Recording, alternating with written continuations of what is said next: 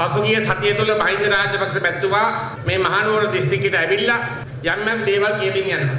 එතුමාගේ රැස්වීමක කිව්වා අර කිරියල්ල කියන එක්කෙනා අධිවේගී මාර්ගයක් පටන් ගත්තා අපි ඒක දැක්කේ නැහැ කියලා. මම එතුමාට කියන්න කැමතියි එතුමා මාත් එක්ක එනවා යන්න අධිවේගී මාර්ගය මම පෙන්වන්නම්. මොකද මේ අධිවේගී මාර්ගයේ කොටස් තුනකින් තියෙන්නේ කඩවත මීරිගම, මීරිගම කුරුණෑගල, කුරුණෑගල නුවර.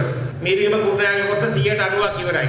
ඒ කොටස අවසන් කරුවයින් පස්සේ අපිට මහනුවරට එන්න පස්සයාලයි ඉඳලා මීරිගම ගිහිල්ලා කුරුණෑගල හරහා එන්න පුළුවන්. අමාරු හරිය හයිවේ එකට යටත් වුණා කිලෝමීටර් 45.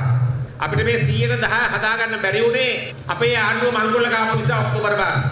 මේගොල්ලේ ගිවිසුම් වෙනස් කළා වෙන ක්‍රමයකට මේක හදන්න උත්සාහ කළා.